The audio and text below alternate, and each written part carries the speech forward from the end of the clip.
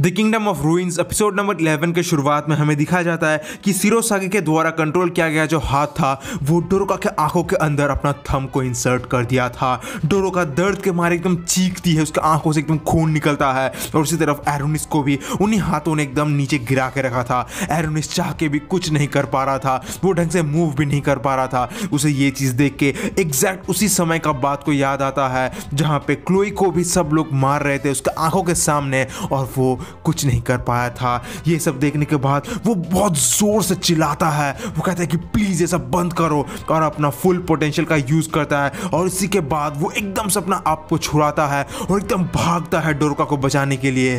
लेकिन अब तक बहुत ज़्यादा लेट हो चुका था।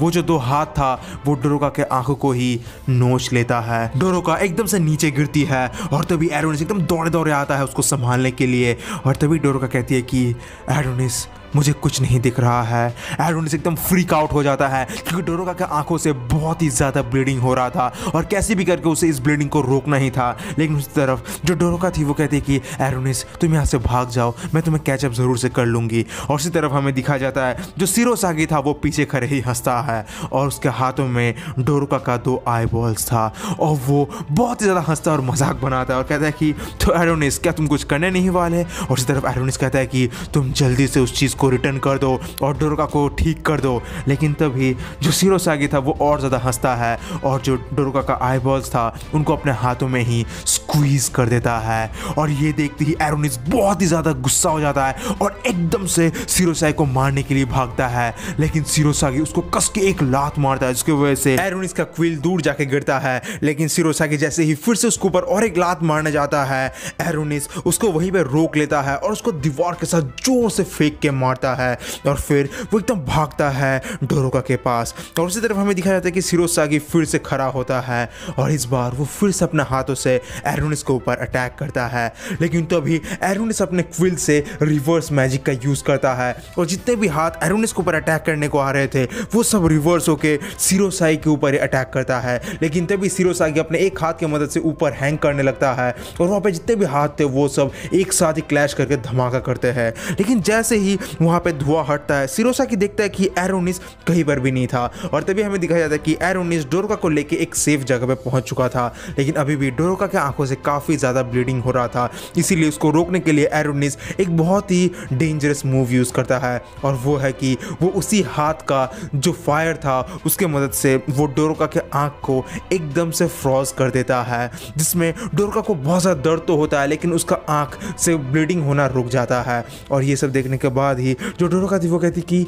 ये सब क्यों हो रहा है एरोनिस मुझे तो एक नॉर्मल लाइफ जीना था, मुझे तुम्हारे साथ स्कूल जाना था, एक बिल्कुल नॉर्मल लाइफ जीना था लेकिन फिर भी ये सब क्यों हो रहा है? और ये सब सुनने के बाद एरोनिस काफ़ी ज़्यादा इमोशनल होता है। वो इवन क्लोई के बारे में भी सोचता है, क्योंकि क्लोई भी यही सेम चीज़ कहा करती थी। लेकिन बस, अब वो और सहन नहीं कर सकता था। उसे किसी भी हालत में बदला चाहिए ही था। और उसी तरफ़ सिरोसागी एक बिल्डिंग के टॉप से एरोनिस को ही ढूंढे जा रहा था। लेकिन तभी एक बहुत ही बड़ा धमाका होता है। और जैसे ही वो पीछे घूमता है, वो देखता है कि एरोनिस और डोरो का दोनों ही एक जाइंट के हाथ के ऊपर था। और ये वही जाइंट है जिसने कि रेडी एम्पायर को तबाह कर दिया था। और तभी हेडक्वार्टर से चारमी बताती है कि सिरोसागी, आप ध्यान से रहना, क्योंकि ये बहुत ही ज़्यादा डिस्ट्रक्टिव है। लेकिन जो सिरोसागी है, वो तो बहुत ज़्यादा एक्साइटेड हो जाता है इसको देखने के बाद। और उसी तरफ़ एरोनिस कहता है कि, तुम जल्दी से अपने क्वीन को यहाँ पे भेजो। मैं तुम्हारे क्वीन के साथ भी यही हाल करना चाहता हूँ। और ये सुनते ही सिरोसागी को बहुत ज़्यादा गुस्सा आ जाता है और वो फिर से अपना हाथ से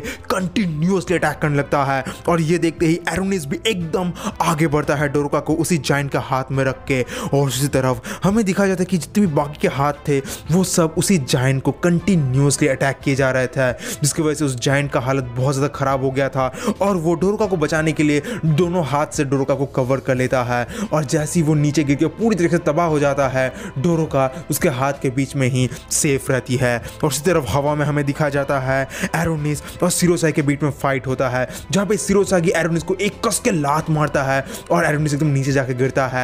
सिरोसागी बहुत ही आसानी के साथ एरोनिस के हर एक स्पेल को होने के पहले उसको मार दे रहा था। एरोनिस फिर से एक मैजिकल स्पेल को कास्ट करने जाता है, लेकिन सिरोसागी उसके पहले उसको मारता है और फिर कहता है कि, बच्चे, अब तक तो तुम्हें ये पता चल गया होगा कि तुम्हारा जो मैजिकल पावर है, उसका मेन वीकनेस है कि वो बहुत ज़्यादा स्लो है और यही चीज़ तुम्हारे मौत का कारण भी बनने वाला है। और फिर हमें दिखा जाता है सिरोसा की अपना जितना भी हाथ था, उन सबको एक साथ कलेक्ट करके एक जॉइंट हाथ बनाता है और कहता है कि, बस अब तुम मरो। और अगले ही सीन में हमें दिखा जाता है, जो डोरोका थी, वो देख तो नहीं पा रही थी, लेकिन फिर भी वो एरोनिस को ढूँढने के लिए निकल पड़ती है। वो कुछ भी समझ नहीं पा रही थी, लेकिन फिर भी कहती है कि एरोनिस एरोनिस तुम कहाँ पे हो? और तभी पीछे से एक आवाज़ आता है कि, मैं यहाँ पे हूँ डोरोका। और ये सुनते डोरोका एकदम से भाग के जाती है उस तरफ़। लेकिन हमें दिखाया जाता है कि ये आवाज़ असल में सिरोसागी ही निकाल रहा था, और उसने ऑलरेडी एरोनिस को बुरी तरीके से पीट के उसको गर्दन से पकड़ा हुआ था। और तभी जो डोरोका थी, उसको रियलाइज़ हो जाता है कि ये जो चीज़ है, ये जो आवाज़ है, ये असल में एरोनिस का नहीं, बल्कि सिरोसागी का है। और तभी एरोनिस धीरे से कहता है कि, भाग जाओ डोरोका तुम यहाँ से भाग जाओ। और तभी सिरोसागी एकदम से एरोनिस को एक कंक्रीट के ऊपर फेंक के मारता है, जहाँ पे एक रॉड एकदम से एरोनिस के सीने के आर पार हो जाता है।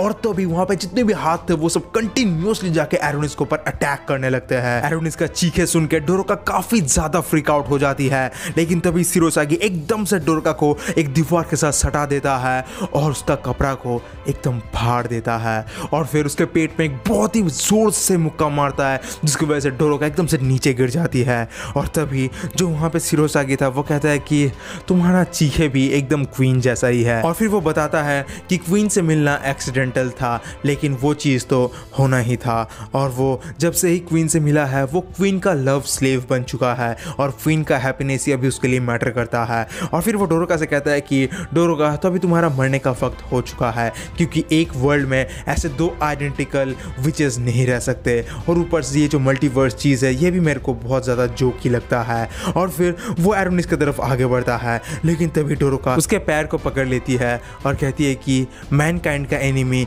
विचेस है है ना? तो आप प्लीज़ एरोनिस को मारना बंद करो। हाँ मुझे पता है कि उसने बहुत कुछ किया है, लेकिन उसके पीछे उसका एक स्पेसिफिक रीज़न था, लेकिन एरोनिस को मार के कोई फ़ायदा नहीं होगा। उससे बेहतर कि आप मेरे को ही मार दो। रिवेंज लेना इस सिचुएशन में ही एकमात्र सोल्यूशन है। और अगले ही सीन में हमें दिखा जाता है सिरोसागी एक कस के लात मारता है डोरुका के सर पे और डोरुका का मुँह एकदम ज़मीन के साथ जाके लगता है। सिरोसागी कहता है कि, मुझे नहीं पता तुम ये सब क्या कह रहे हो, लेकिन मुझे एरोनिस का सर ही चाहिए। और इसी तरफ़ डोरोका ये सब सुन के बहुत ज़्यादा गुस्सा हो जाती है। लेकिन तभी एरोनिस कहता है कि, डोरोका तुम प्लीज़ मेरे लिए एक लास्ट हेल्प करो। तुम अपना लव मैजिक मेरे ऊपर यूज़ करो। जब तक कि तुम मेरे बॉडी को मूव करा सकते हो, मुझे कोई फ़र्क नहीं पड़ता। अगर मैं तुम्हारा पपेट भी बन जाऊँ तो प्लीज़ डोरोका प्लीज़ तुम अपना मैजिक मेरे ऊपर यूज़ करो। और ये सब सुन के सिरोसा की बहुत ज़्यादा इरीटेट हो रहा था। और वो डोरोका के मुँह में और एक कस के लात मारता है और कहते हैं कि मुझे तुम्हारा ये रेजिस्टेंस बिल्कुल भी पसंद नहीं आ रहा है। और फिर डोरोका एकदम दूर जाके गिरती है और वो फिर से एरोनिस की तरफ़ आगे बढ़ने लगता है। और तभी डोरोका कहती है कि तो फाइनली फाइनली मुझे इस सिचुएशन के अंदर अपना मैजिक यूज़ करना ही होगा। और फिर वो क्लोई से माफ़ी मांगती है और एकदम से अपना रेजिस्ट मैजिक का यूज़ करती है। और अगली ही मोमेंट जो वहाँ पे एरोनिस है, उसके ऊपर एक बहुत ही पावरफुल मैजिकल रे आके गिरता है और उसका पूरा बॉडी मानो हवा में लेविटेट करने लगता है, जो सिरोसा की तरफ़ एकदम डर जाता है और तभी एरोनिस एक कस के मुक्का मारता है उसके सर के ऊपर और एकदम दूर जाके गिरता है। एरोनिस फिर से खड़ा होता है और उसी तरफ़ डोरो का अपने बचपन के बारे में सोचती है कि कैसे बचपन से ही कोई भी विच उसका ये जो पावर है, इसको यूज़फुल नहीं मानती थी। इवन लूना मिलिया बेबी सब लोग उसको यही कहते थे कि तुम एक यूजलेस विच हो, तुम्हारे वजह से ही ये सब पॉसिबल हो रहा है। और जो डोरोका थी, वो हमेशा यही सेल्फ डाउट में थी। वो बहुत ज़्यादा सेल्फ कॉन्शियस थी और किसी भी हाल में वो अपने आप को एक अच्छा विच प्रूफ करना चाहती थी। लेकिन तभी वहाँ पर एरोनिस आता है और कहता है कि मुझे अभी पता चल रहा है कि तुम अपना पूरा लाइफ इतना प्योर कैसे रह पाई हो? तुम हर एक चीज़ के बारे में कुछ ज़्यादा ही केयर करते हो। बट डोंट वरी इस केस में तुम मेरे को जैसा मन वैसा कंट्रोल कर सकते हो। ज़्यादा चिंता मत करना, मैं असली में तुम्हारे प्यार में नहीं गिरने वाला हूँ।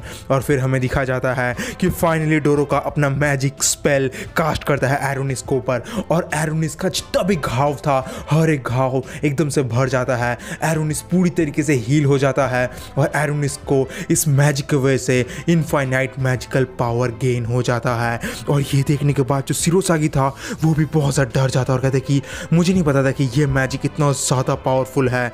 और फिर डर का बताते कि एरोनिस अभी तुम और किसी से नहीं हारने वाले। और अगले ही मोमेंट पे सिरोसागी एकदम वहाँ से भागने की कोशिश करता है, लेकिन एरोनिस अपने क्विल की मदद से सिरोसाई के चेस्ट को एकदम स्क्रैच कर देता है और कहता है कि आपका विश मेरे लिए आदेश है, मेरा प्रिंसेस और इसी के साथ ही एपिसोड खत्म होता है। तो गैस अगला एपिसोड बहुत ही क्रेजी होने वाला है। तो मिलते हैं अगले एपिसोड में। Till then bye bye stay safe